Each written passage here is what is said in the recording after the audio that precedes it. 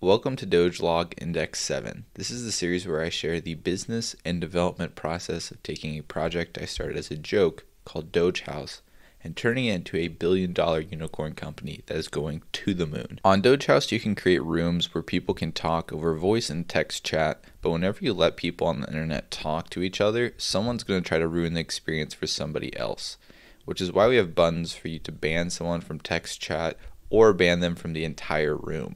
This week we ran into a situation of somebody ban evading, where they got banned from a room, they weren't happy about it, so they made a new Doge House account, joined the room again, proceeded to get banned again, and create another Doge House account, rejoined, and the cycle just went over and over again. From a technical point of view, there's no way to completely stop this kind of behavior if the harasser knows what they're doing, because they can literally spoof everything about themselves. Discord deals with this as well, and I found a resource of what they recommend doing when this happens to your Discord server. And it comes down to just having a conversation with the person who's ban evading, asking them how they're feeling, using some conflict resolution strategies to make them feel like you're listening to them and kind of get their point of view and come to some sort of resolution. This is in the extreme case where a harasser has made it through all the technical hurdles that a website can put in place.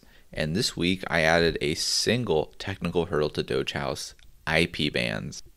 When you log into Doge House now, we store your IP in our database, which is roughly a unique identifier for your computer. Key emphasis on the rough part because there are some if, ands, or buts with that but room owners can now ban a user and no one with their IP can now join the room. Which means if I'm a harasser and I get IP banned from a room, I can't just on my same computer open up a new tab, create a Doge House account, and try joining that room because my IP is now banned. I have to at least press one other button, which is to turn on my VPN. This is virtually nothing to technical people because there's ways to change and mask your IP, the simplest being just using a VPN.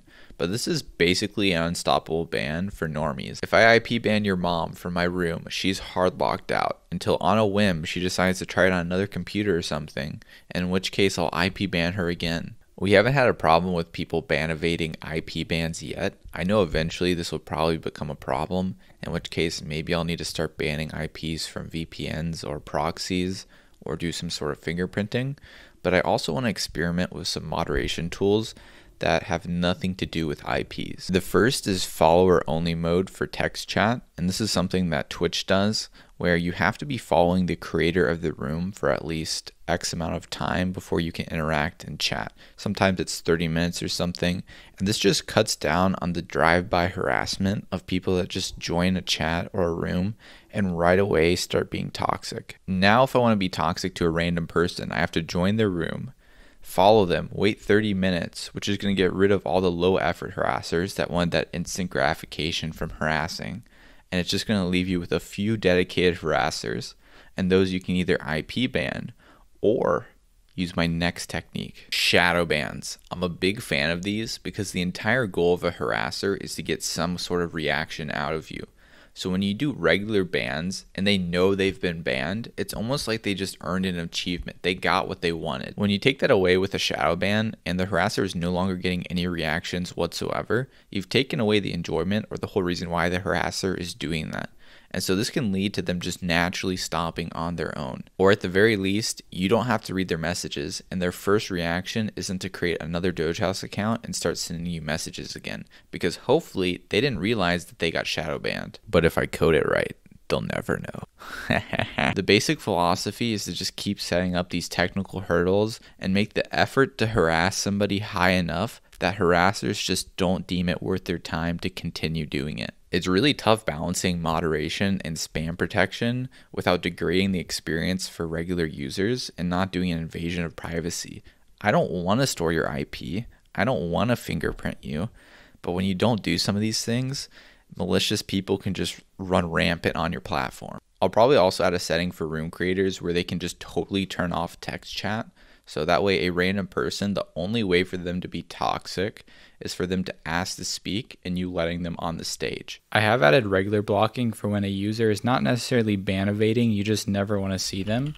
If you go to their profile, you can block, and what that does is three things. Number one, if they try to join your room, right, it's going to tell you you've been blocked. Secondly, if they try to search up your username, it's going to tell you you've been blocked. And then if we happen to both be in the same room, like I join Mango, I join Mango too, and we send text chats, I'm not going to see the AngularJS chat because I have them blocked. Now, one thing I wasn't quite sure about is if we both were to join as speakers, I have it able that we can hear each other. I figured it'd be weird if there was large gaps of silence where everyone was listening to somebody, but then you couldn't hear them. So I figured if you really didn't want to hear them, you could just go and reduce their volume down to zero manually if the situation even comes up ever for you. The oopsie of the week has to do with making bot accounts. I wanted a way to know if you're a user or if you're a bot. It didn't really make sense for a bot to authenticate using Twitter or GitHub OAuth 2, so I set up a new endpoint that developers could use. It allowed you to create bot accounts which would be attached to your user and give you an API key that you could use to authenticate programmatically.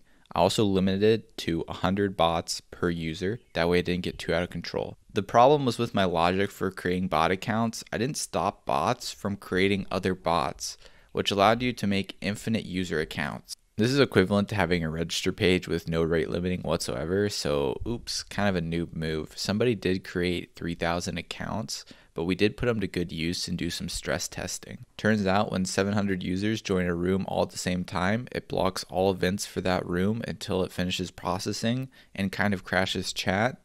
So we might need to do a little bit of performance tuning before Elon Musk comes on the platform. Discord is once again back at it, adding features to stages faster than they should be. This time, they're adding the ability for you to do a ticket system where users have to pay X amount of dollars to join your stage and listen to whatever you have to say. Funny enough, Twitter Spaces is also adding this feature, which I'm pretty happy to see because Discord and Twitter can fight a little bit. And I was kind of planning to add this to Doge House as well, kind of just like a why not feature. But now I'm not going to add it for a very long time, maybe never. Personally, I don't even like the feature that much. I much prefer free rooms where there's paid upgrades or something where people can flex their cosmetics or something. Don't get me wrong though, I think paid rooms are a good feature and it's going to enable conferences, workshops, lewd rooms, all kinds of stuff. But I feel like the paid voice room space is about to get heavily congested. I wouldn't be surprised if Clubhouse jumps in on this too. And I feel like paid rooms have less use cases than freemium rooms. Imagine on Doge House if a few people from the audience could boost the room. How do you like them apples, Discord? That's it for this Doge log. The business team didn't do much this week except play some golf. Stay tuned until next week where maybe the dev team will be done finishing bugs and possibly do some room recordings.